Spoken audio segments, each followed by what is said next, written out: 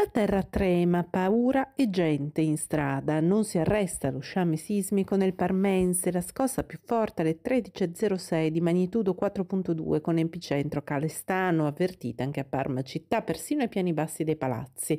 Prima di questa la più forte era stata di magnitudo 3.4 e si era verificata alle 3.55 di questa notte con epicentro a Felino, a 6 km dall'Anghirano, in provincia di Parma. La profondità stimata è di circa 21 km in linea con le decine di altre scosse registrate negli ultimi due giorni, oltre un centinaio.